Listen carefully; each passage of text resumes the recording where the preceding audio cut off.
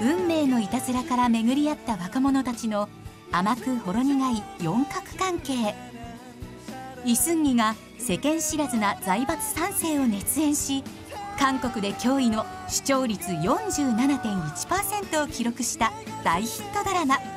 「シンデレララブストーリー華麗なる遺産」10月12日スタート。